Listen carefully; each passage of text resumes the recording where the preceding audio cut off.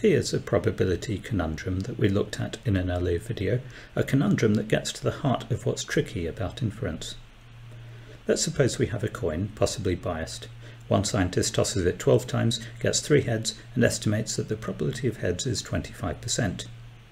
Another scientist tosses it four times, gets one head, and comes up with exactly the same estimate.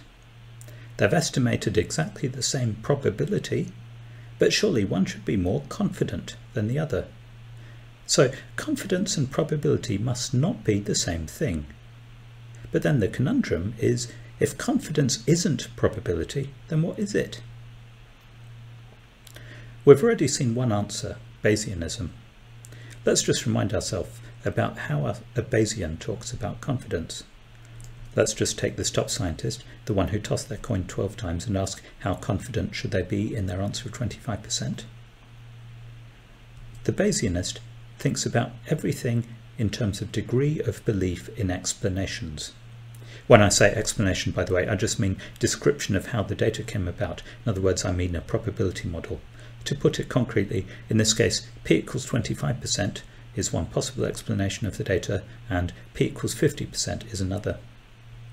So a Bayesianist is like a detective. They say, here is the data I saw. What are the likely explanations for it?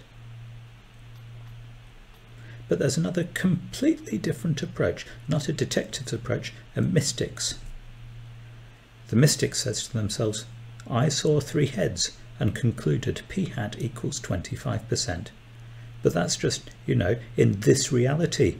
It's just chance I saw three heads. If someone in a parallel universe did exactly the same 12 coin tosses, they might well have gotten two heads, or four, or maybe even 12. It's crazy to base our scientific inferences on an outcome that's contingent, that's just chance. Much better to look across the entire multiverse and think about all the parallel experiments uh, and parallel data scientists in every parallel universe. Let's look at the spread of p-hat values they found if it's a tight spread, we should be confident about our value for p hat. If it's a wide spread, we should be less confident. This approach is called frequentist. It's all very well and good if you have the mystical power to actually perceive all the parallel universes. But if all you have is a Jupyter notebook, you need some tricks and some heuristics. The practical way to sort of look at the multiverse is with simulation, to ask how can I simulate the data sets in all the parallel universes given what I've just seen? Let's say, for example, we have a data set of temperature readings in Cambridge. What we want to do is simulate what these readings might have been. For each different simulated dataset, we'll get a different readout for the quantity we're interested in.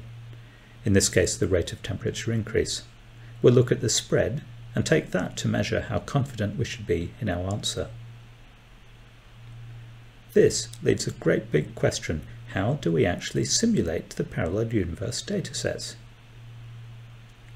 In the next three videos, we'll look at how we might simulate it and at some of the standard ways to report confidence in our readouts. But before clicking next video, this is a good time to stop and think. How would you simulate based on what we've learnt in the course so far.